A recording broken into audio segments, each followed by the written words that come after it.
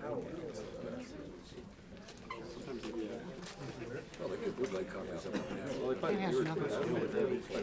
nothing to do with It's just very controversial.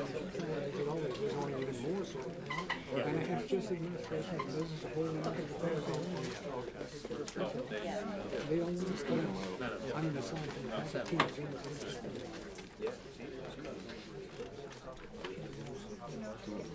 To all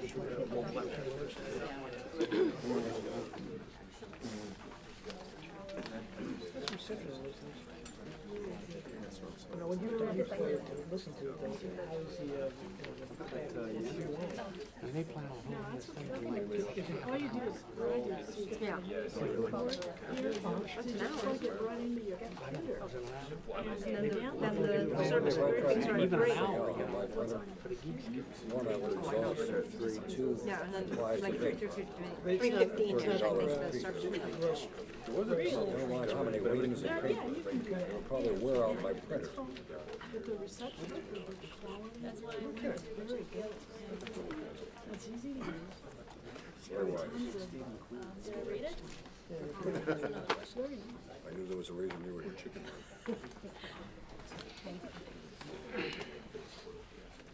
Thank God you're here.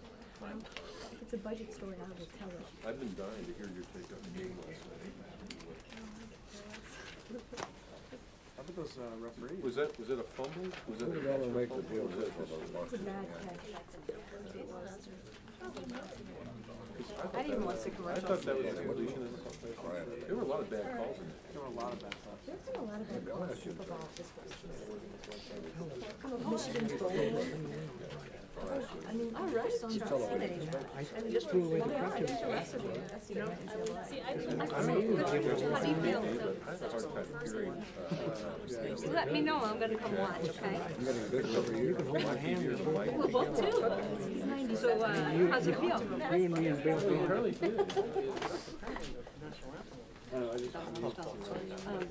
Good.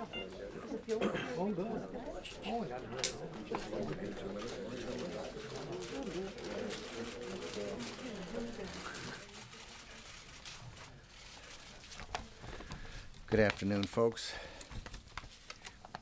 We, uh, General Pace and I and some of the senior people in the department just spent a good session with the senior um, uh, leaders in Congress, the chairman and ranking members of the Armed Services Committee in the House and Senate, and uh, the chairman and ranking members of the Appropriations Committees, subcommittees, I should say. And uh, most, most of them were there. I think one couldn't make it. But um, we have been discussing the quadrennial defense review and the budget with them and look forward to the hearings tomorrow. Uh, I just returned from the annual conference on security and policy in Munich, Germany, the Wehrkunde conference. Um, I should say that many of those gathered positively discussed the need for close cooperation as we wage the uh, global war on terror against extremists who pose such a serious threat to our free systems. In Munich, I noted the, this challenge uh, requires us to, all of us really, to try to recalibrate our strategies and re-examine our defense budgets and, and our funding priorities, and uh, perhaps further rearrange capabilities for an era of asymmetric, uh, irregular threats. The President's budget request for the Department of Defense represents an increase over last year. It reflects what we should believe should be the country's national security priorities, namely to help defend the United States of America and the American people and their interests, to give flexibility to commanders, to prepare for both conventional and unconventional or irregular warfare, and importantly, to work closely with partner nations to help them develop the capabilities needed to defeat terrorists within their borders and to cooperate with us and other countries with respect to this global threat. Uh, the budget will also fund some of the decisions drawn from this year's quadrennial defense review, although that's not what it's designed to do. Uh, the bulk of what comes out of the quadrennial defense review will be taken into account as the budget build starts now uh, to be presented next February. And um, uh, all that has been done are to take the things that were became readily apparent some months ago when there was still time to incorporate them into the budget, which I would not want people to think represented uh, a, a major portion of the um, vectors and direction that came out of the quadrennial defense review. Uh, I know there's a temptation in Washington to view everything in terms of winners and losers and zero-sum games. Um, I should say that the QDR and our budget request for 2007 and thereafter should not be measured in terms of programs or winners and losers, I don't think. These are not standalone documents, uh, but rather calibrations in our direction as we continue transforming to meet the new challenges. Um, I've asked Tina Jonas, the comptroller of the, of, uh, the department, to be here along with her team and, and experts in various aspects of this budget to uh, be able to make a presentation and then respond to your questions. I understand there are then some breakout groups on specific subjects that, that will be available for all of you uh, to um, get the kind of next level detail. The QDR, of course, has already been made available, and uh, with that, I'll ask General Pace to make a, uh, some remarks, and then uh, we'll turn you over to Tina and her team and others. Pete? Thank you, Secretary. Pete's going to make some Yes. remarks. One, one question of you, i- if, if you don't mind, just, You just want to one till question. Pete talks? Yes, sir? Good. That's fine. Thanks, Charlie. You want just one for you or one for each person in the room? Well, Just one before- for you. I see. I see. Well, General thank- Pace. Thank you, sir. I just returned from a visit to uh, South Korea, where this past Friday I participated in a change of command, where General uh, Leon Laporte relinquished command of the UN Command, the ROC U.S. Combined Forces Command, and U.S. Forces Korea to General B.B. Bell. General Port wraps up four outstanding years of service to our country and to Korea, and uh, General Bell is coming out of command of U.S. Army forces in Europe and will build, I'm sure, on all that uh, General Port has done for the last four years. While there, I also had the chance to uh, visit some of our troops training on a tank range, uh, Second Division troops, and 29 of those soldiers uh, re-enlisted. I had the great privilege of re-enlisting them in a platoon formation. Uh, some for their first re-enlistment, some for their third, and they were voting with their lives uh, to say that they know that their service to this country is, is valuable and valued. This budget uh, that is being uh, rolled out today and the quadrennial defense review that was released uh, last week culminate an extraordinary year of collaboration and cooperation between the senior civilian leadership and, and military leaders in this department. And together, they certainly make sure that we will be able to prosecute the war on terror, that we'll be able to enhance our joint warfighting capabilities, that we will be able to accelerate transformation, and that we'll be able to provide proper quality of life for service members and their families. And I'm glad today that uh, Vice Admiral Marty Chanik will be assisting uh, Secretary Jonas in answering your questions. Thanks, sir. We really are planning to not take questions, but I guess it's, it- it's unanimous. Everyone wants Charlie's question to represent the rep views of the 55, 60 people, and se- 100 people in the room. Wait, wait, Charlie, you have the floor. Charlie, you have the Secretary, floor. thi- This, this budget represents major investments, increased investments in the area of the Army, Special Forces, Intel, mobility, the ability to, to, to confront problems of unconventional warfare and terrorism.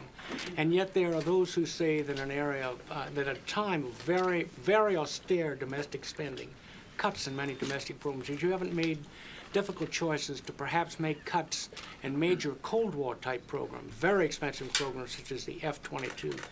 How would you answer that, sir? Well, like, very, very simply, that the senior, as General Pace said, the senior military leadership and civilian leadership of this department spent the better part of a year um, assessing the period ahead, 5, 10, 15, 20 years out, looking at the kinds of challenges that our country is likely to face. Uh, we recognized, as I mentioned in my remarks, the uh, need to see that we had capabilities to defend the American people here at home. We recognize the reality that the we have been very successful in deterring uh, the threat from large armies, navies, and air forces. On the other hand, um, those threats haven't disappeared, and the kinds of capabilities that are necessary to continue to see that, that they are deterred and dissuaded uh, require investments. And uh, they are so, not something that you can turn the switch on and off and have those capabilities. They take years to develop, to, uh, uh to plan, to develop, to, to initiate, and finally to manufacture, produce, deploy, train, and, uh, and outfit units capable of, of using those capabilities. The you're quite correct. Uh, we also are faced with a variety of, of challenges that are considered to be asymmetric or irregular. And we simply, as an institution, have to not stop doing what we were doing and start doing something new.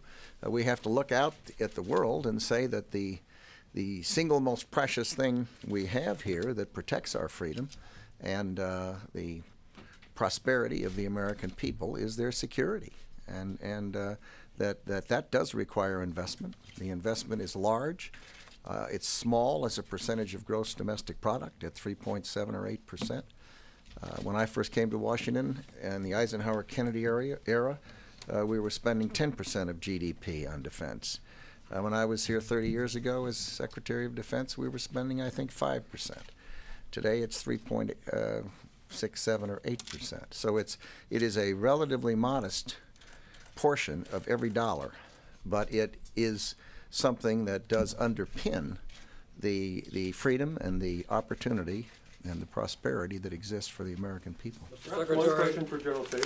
I have a Then question. we'll sign off. Uh, one I have bud- one for one General budget Pace too, question. please. Um, You mentioned in your opening remarks that this budget would allow uh, the U.S. to accelerate the transformation of the Army, but s- some critics are saying that the growth in the Army, particularly in the Guard and Reserve, is, is not as much as it could be uh, with more uh, resources. Can you just comment on that? Well, I think the Army has done a terrific job of balancing the active, guard, and reserve in a way that truly represents a single United States Army for the United States of America.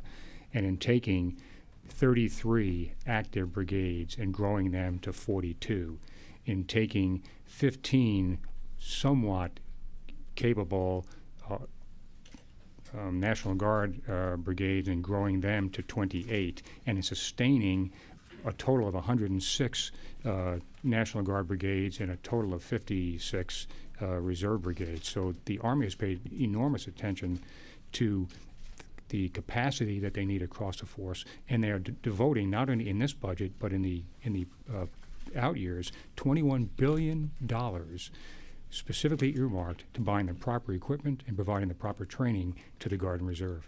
One quick one for General Pace, please, sir. One General Pace short and I are going to be responding to questions most of tomorrow and, and most of Wednesday. Lot of budget This is a budget day. Yeah, but he's just back Good from South- afternoon. He's just back from South Korea, Mr. Secretary. We need to find out some things about the war. gentlemen, you have the floor. Thank you, Mr. Secretary.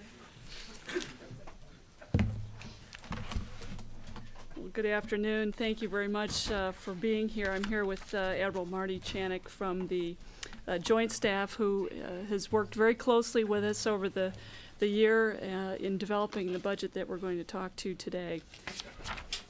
So as the Secretary and the Chairman have uh, just said, the world has changed dramatically since the end of the last century, and the Department is changing along with it, and we are refocusing our forces and capabilities for the future.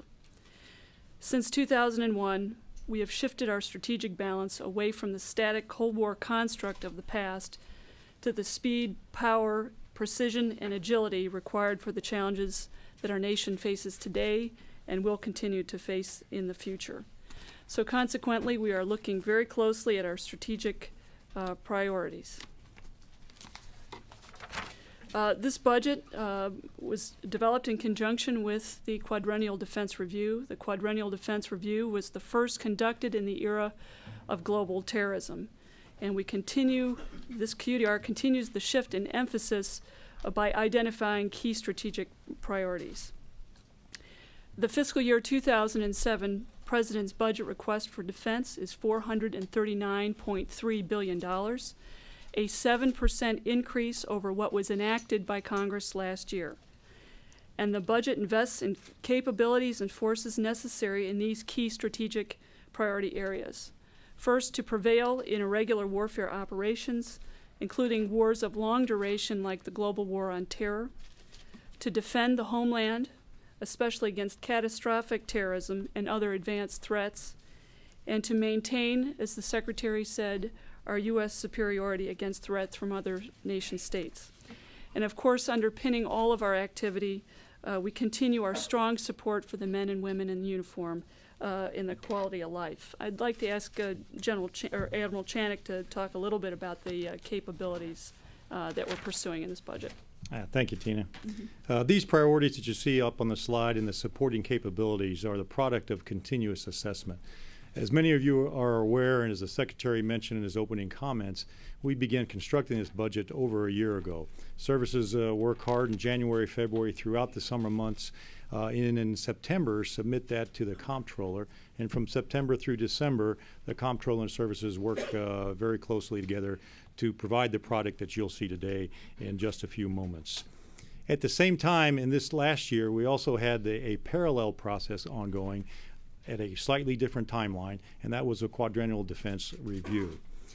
Uh, the quadrennial defense review, uh, while the output of that actually occurred after some of the, uh, the, the, budget was well along on its uh, uh, path, did allow us to get some leading edge uh, investments and indicators in that fiscal year 07 budget. And you'll see that in just a few moments. And as the Secretary mentioned, the Quadrennial Defense Review took our national military strategy and operationalized that strategy. And it did it through the lens of the force planning construct and of the four focus areas. Uh, those four, four focus areas were defeating terrorist networks, defending the homeland, combating weapons of mass destruction, and shaping the uh, choices of countries at the uh, crossroads. As the department assessed these capabilities needed to succeed in the four focus areas, capability sets emerged and those capabilities include, but are not limited to, the following types of investments. Investments in joint mobility, in intelligence, surveillance, and reconnaissance assets, in methods to combat weapons of mass destruction, uh, in increasing the sizes of our special operation forces, in accelerating the Army's efforts to create a more modular, deployable, deployable force, in building joint maritime forces for nearshore and inshore operations, in orienting joint air capabilities to increased range and persistence to larger and more flexible payloads, and the ability to penetrate and operate in denied areas, and advancing joint command and control with the requisite uh, net centricity.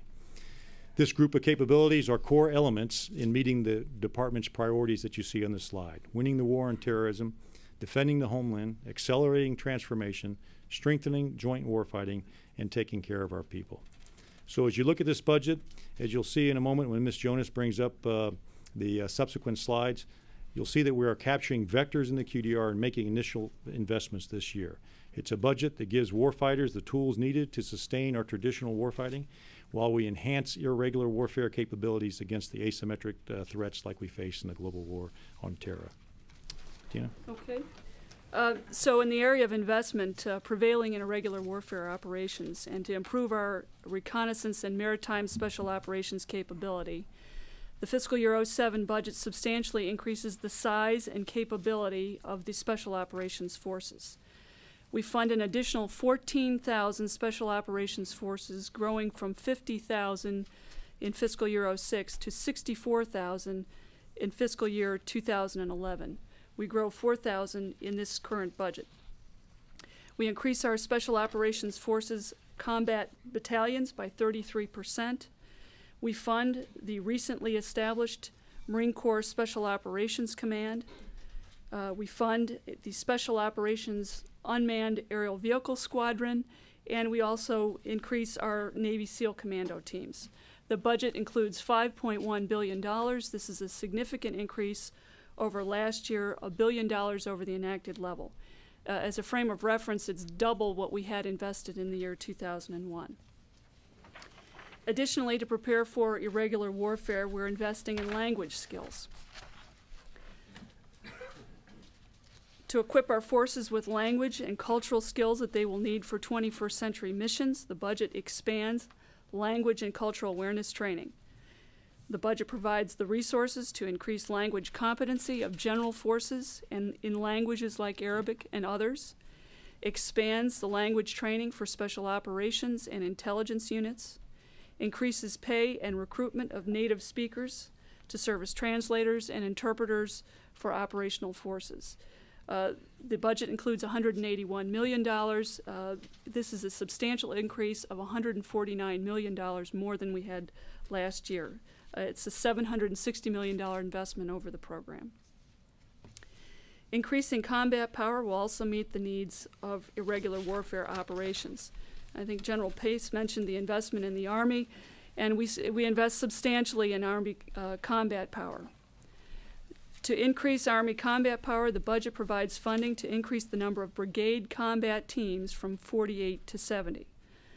The conversion of regular brigades to modular uh, brigade combat teams will make the Army more flexible, effective, and deployable against a wide variety of adversaries, and importantly, will increase the Army's rotational pool and reduce the frequency of deployments and provide greater stability for soldiers and their families.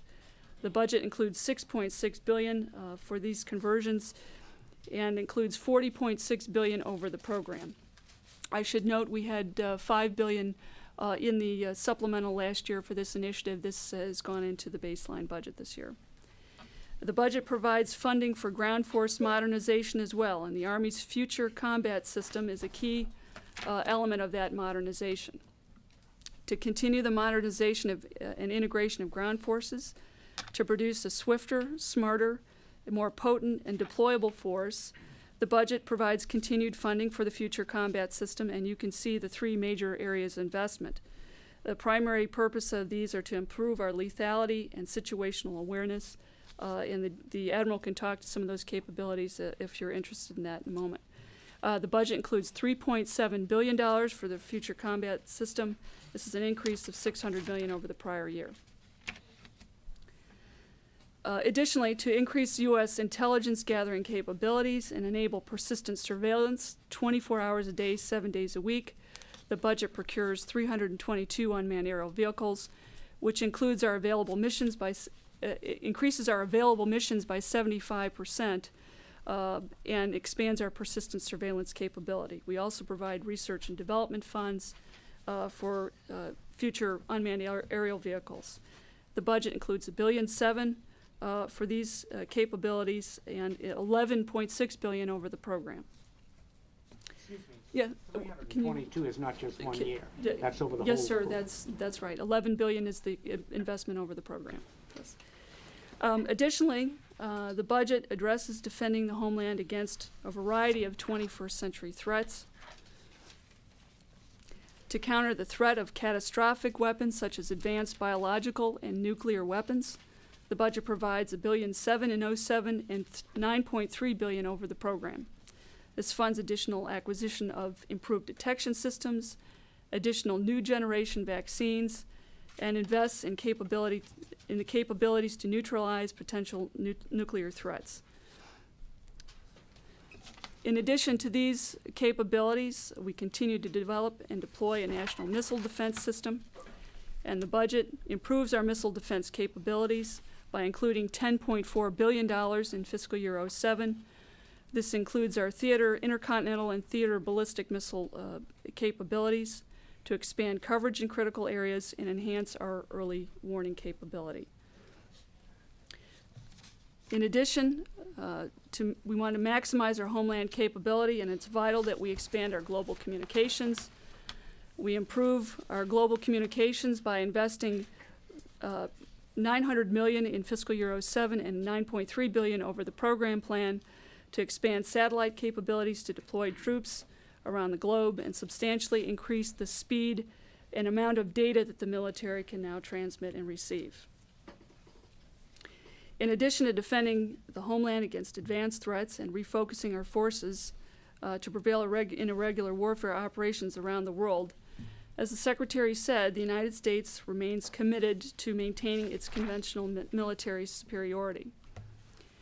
And in that area, we are improving our joint air support capabilities.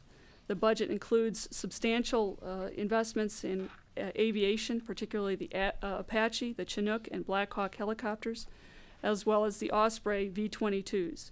Uh, we include 113 of these aircraft in this budget and 798 uh, of these aircraft over the program plan, very substantial. In addition, our joint air capabilities uh, to improve joint air dominance and global strike, uh, which permits for, uh, freedom of maneuver for air, land, and sea forces.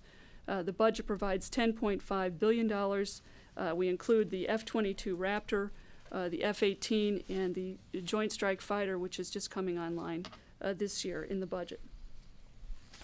We are also addition, in addition, we are also investing in our joint maritime capabilities uh, to improve our maritime support to joint forces. We invest in multi-mission ships, including two uh, destroyers, DDX destroyers, two littoral combat ships, one Virginia-class submarine, one amphibious assault ship, and one logistics uh, ship, a TAKE.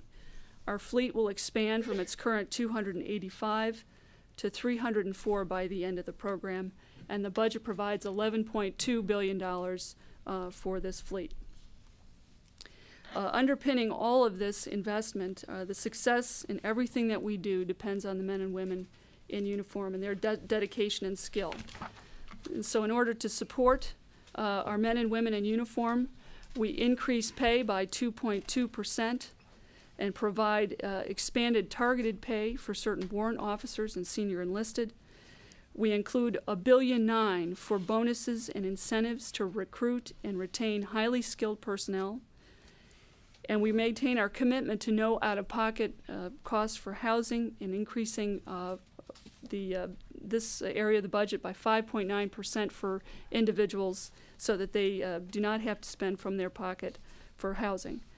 In addition, this budget completes a commitment to eliminate uh, the remaining 49,000 inadequate on-base housing uh, units, and we provide other quality and life investments, including a billion five for the construction of new on-base living quarters for unmarried enlisted personnel, uh, new child development centers, and for new educational uh, schools uh, projects. But the quality of life uh, means also looking forward uh, after the health of each service member and their family, and to that end, the department provides one of the best health care coverage plans in the nation. Our goal is to, to continue to provide the highest quality care to our military personnel and their family, placing the, by placing the program on a fiscally sound foundation for the long term. Our budget includes $39 mil- billion in 07, which is an increase of 2 billion over the prior year, to provide health care for retired and active duty military personnel and their families.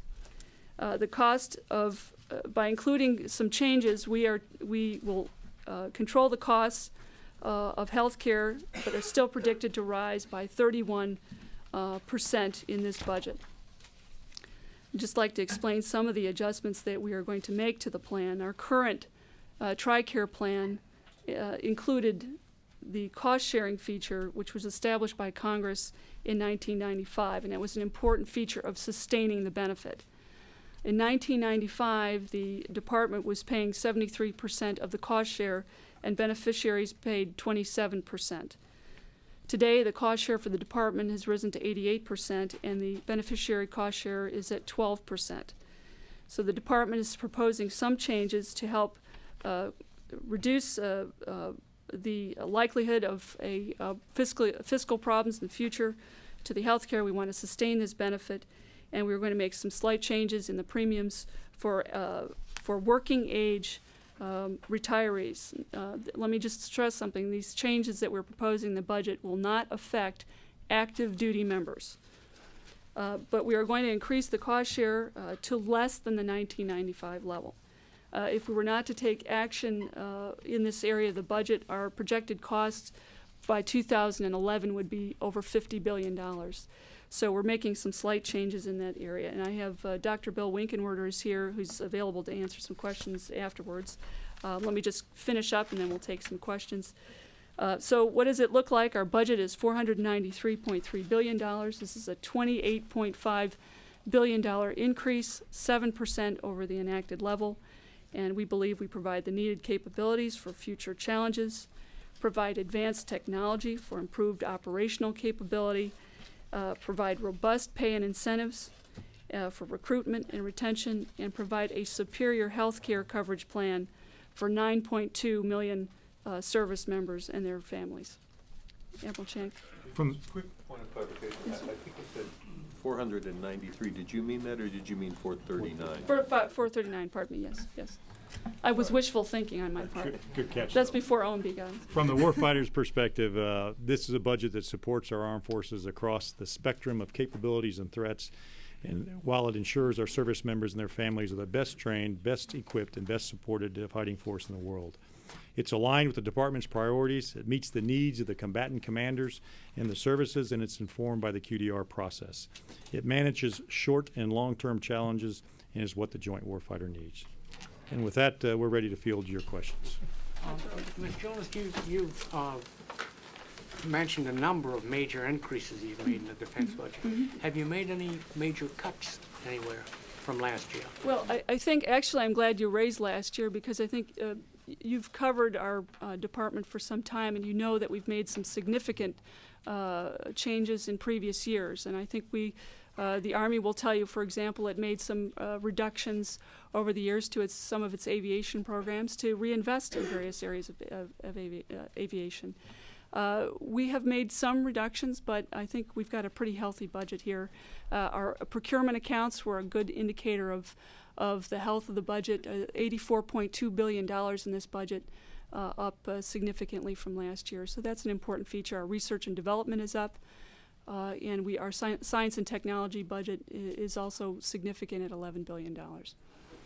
As as you well know, one of the busiest aspects uh, of the U.S. military today are ground forces. And I'm just wondering, if, is there a way to quantify, if you count the increase in special forces, uh, um, the the Marine, the new Marine units, the expansion, uh, to, to what extent is there an expansion of the Army? How many more troops are we actually talking about that are going to be fielded under this budget than are fielded today, in terms of ground forces? Right. The total numbers of the uh, forces, if you count in total numbers, will will uh, remain approximately the same if you look at end strength. But the challenge that uh, has been out for both the uh, ground forces, both the Army and the Marine Corps, has been how to make uh, how to change the tooth to tail ratio, if you want to look at it that way. The other way we say it is the operational Army versus the institutional Army. Uh, Army has a goal that they want to get in that operational Army, the two side, uh, 40,000 more folks, and we believe we can do that uh, by the rebouncing of the of the people we have today in that force structure that exists. Marine Corps has also done the same thing by adding two infantry battalions into them. So so the effect uh, is with that same number of folks is uh, more capability uh, by by rebouncing uh, what the forces do inside of that. So just to be clear, that, that fourteen uh, additional special forces, that is uh, a result of rebalancing the end strength you were working with now? That is correct. Admiral, QDR says that the, by FY eleven, the Marine Corps end strength will go back down to one seventy-five. Is that because you're assuming that the Marines will be out of Iraq by then? And given that MARSOC has stood up, why is strength going back down instead of going up? Yes, uh, we always, uh, we continuously look at end strengths, uh, but uh, we'll wait and look at what the conditions of the uh, world are. Uh, obviously, we don't know exactly when things may get down to a little bit less intense in terms of uh, number of troops deployed to the Iraq-Afghanistan area, but as that comes down, then we think the end strengths can go very close to what uh, uh, you saw in the QDR report itself. And a uh, QDR long-term question. Uh, 08 through 013, you're supposed to see major reflections of the QDR. Now, when we come here next year and see this, will we see large increases over the future year's defense plan versus this year? I calculated the long, the, the top lines between 07 and 011 this year. It's about 2.38 trillion dollars. Basically, the same plan from last year. is the expectation here that you're going to grow that top line over the next six years by a lot or make adjustments within roughly what you're announcing today? Yeah, I think the assumption is that we, of course, we don't know what next year will bring, but the assumption is certainly that we would work within our current, our current structure. Uh, I think what the secretary has detr- described to you and what the chairman described is a realigning and reorienting of our, uh, the current resources that we have. One follow, one quick uh, truth in advertising question. Last year for '07, you projected a $443 billion budget versus sir. 439. Right. Uh, Why the $4 billion? Why couldn't you fight to get that restored? Uh, Well, certainly, we make uh, our case, uh, and uh, we, we feel that we have a very healthy budget here. I will say that uh, the, the Congress uh, enacted a budget that was a little bit lower, uh, and that certainly um, uh, was some uh, guidance to uh, the administration as to what the, the Congress might be interested in funding. So, uh, but we feel that we have an extremely healthy budget here. We are 7% over the enacted level. Uh, we've got a lot to, to work with here. So, so where, where would that extra four billion dollars have gone? What, what were the tough choices that had to be made? Uh, well, we we make a lot of tough choices. Uh, there are certain um, certain uh, systems that uh, we did not uh, fully fund. Uh, we adjusted and restructured some programs. You, many of you are familiar with what we do in terms of adjusting programs. I mean, you can't do it always on the schedule that you want to do. Um, and was you, there will be breakout sessions with the services so they can answer some of those more specifically with you. Uh, the war in Iraq is being funded primarily through supplementals. It looks Mhm. like you're on a pace to spend about ten billion dollars a month. Do you see that pace continuing on for what period of time? And also, can you point to any other, mm, anything else that was built into the budget that primarily is going towards the war in Iraq, um, that also obviously benefits over time? Yeah. I think our current costs are running about 6.8 billion, and that's a little bit up from last year. Year, and the reason is we have included, as many of you know, uh, costs for resetting the force in the supplementals. Uh, our equipment is wearing out at a significant pace, and so the we've been we've been actually uh, uh, quite successful in working with Congress to make sure that that we procure that. Uh, but uh, we don't. I'm not going to make predictions about the future. We develop our supplementals based on uh, the deployment orders that, that are out there at the time, and so we will continue to do so in the in the in the future. I'm not going to be in the projection. The six point eight billion, just to, just to double check, 'cause it's about hundred and twenty billion if you look I- at fiscal year oh six, so. I, will tell you what. Let me take another question, and we'll be glad to clarify numbers with you uh, after the after the briefing. It's actually on that, that line of questioning about supplemental. In the budget process, do you ever foresee a time when there wouldn't be supplementals and it would just be one budget? Some people in, co- in Congress say this is a giant shell game to kind of move money that's not listed. Yeah. Let, let me clarify uh, uh, a point. Uh, the administration will be requesting a budget amendment to the 07 uh, budget, uh, so we will be amending the budget. Um, we have included some things in the past, like modularity and supplementals, which we have talked to you about, is included in the baseline. Um, I, we understand the concerns in Congress, and we're working very carefully with them. We just briefed, uh, as the secretary said, many of the uh, chairmen and ranking members of their our committees of concern. So we'll just have to keep working.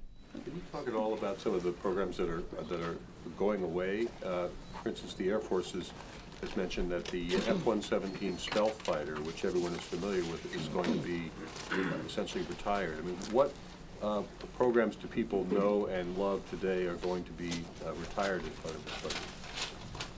Uh, I can talk to some of that, uh, and again, I think in the individual breakout sessions, you can get more detail if you'd like.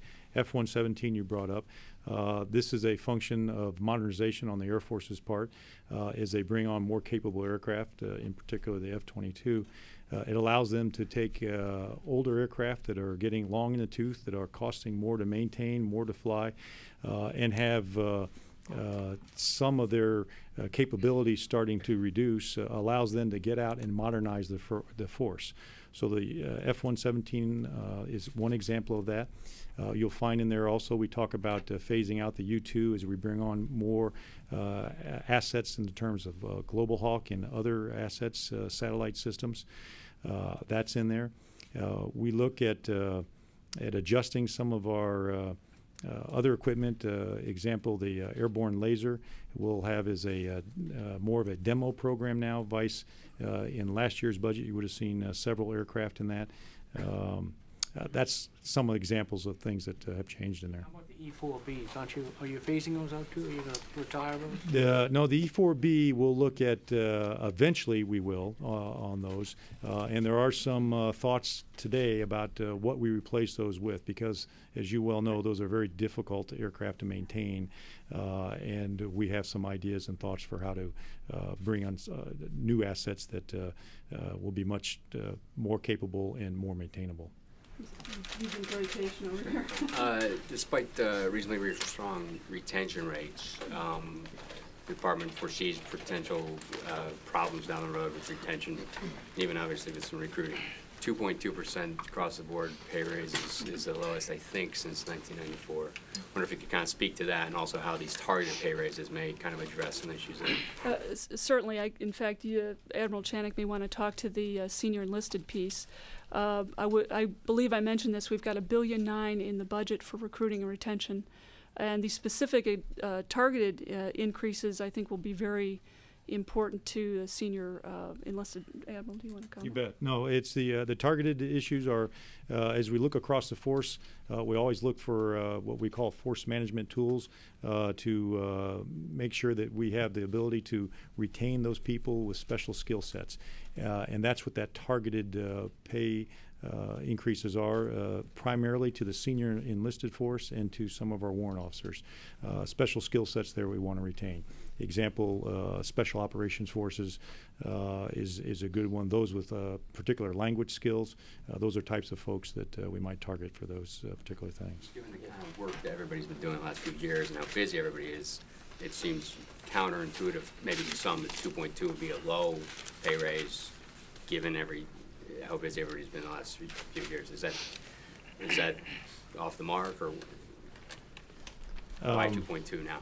Right. Uh, I, I don't know if, uh, one, I don't think it's off the mark. I think it's, uh, it's a continuing effort to make sure that uh, we work uh, towards uh, uh, parity, if you will, in pay uh, for our military forces that uh, the equivalent uh, civilian educated, if you will.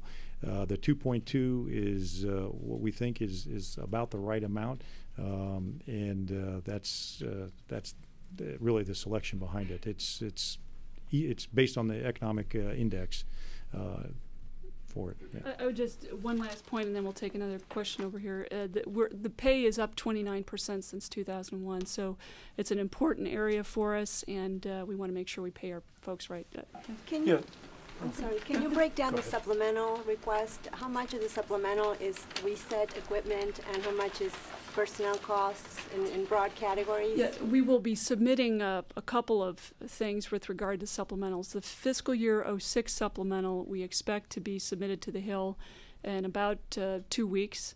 Uh, the details of that have not yet been settled. Uh, the majority of it will continue to fund our operations uh, costs. Um, I, will point to, I think last year we spent about $16 billion, however, for reset. Uh, I don't, I'm not going to uh, try to give you the details of what we will be submitting in a couple of weeks uh, until I know the full effect of that, but, but probably in that area.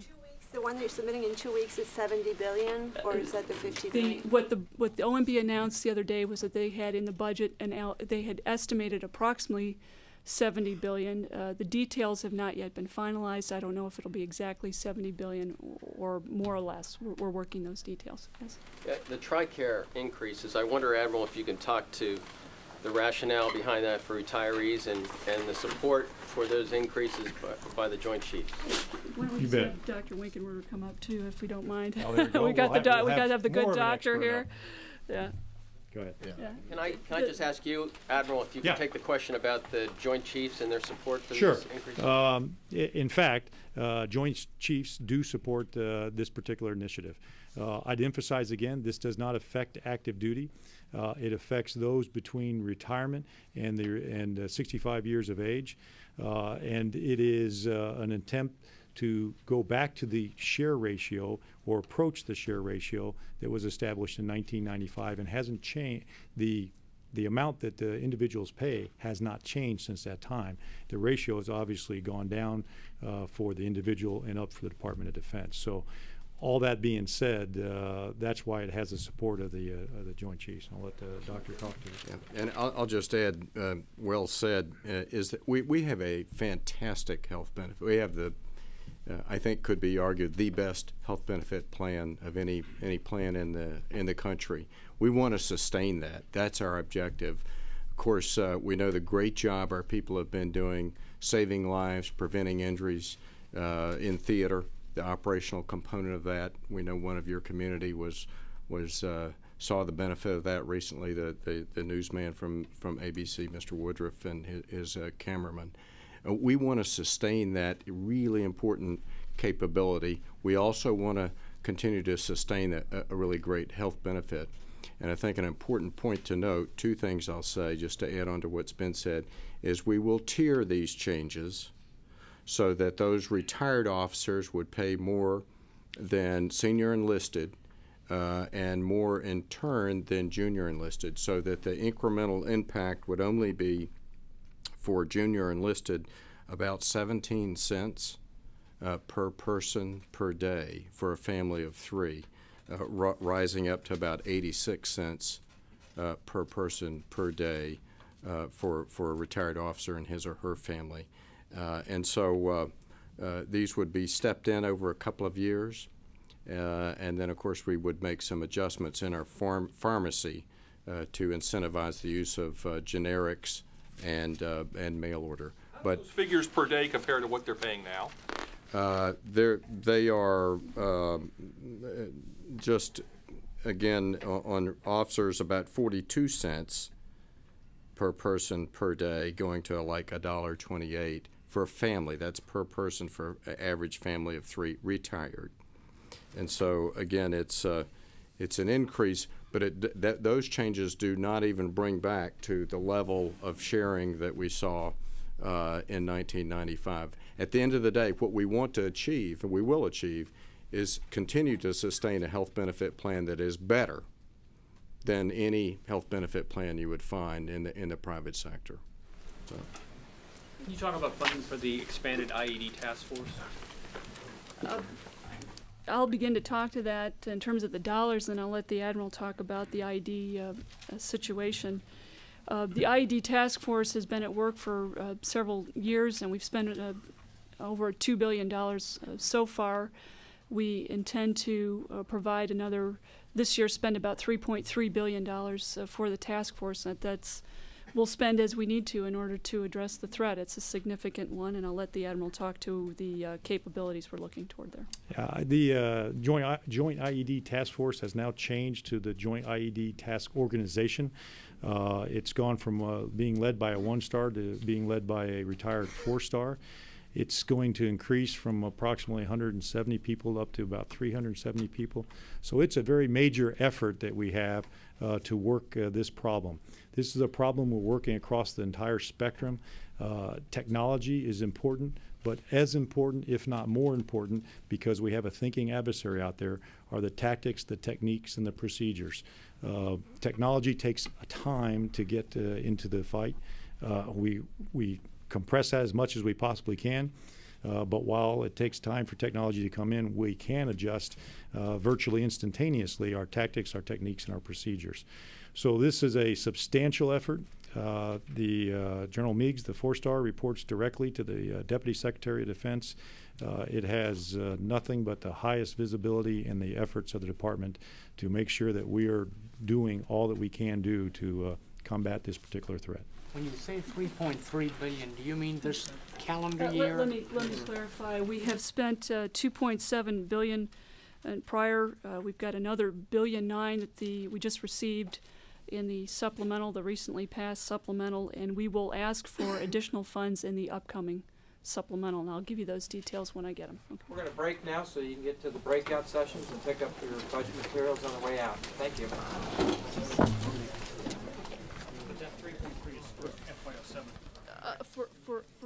for this year.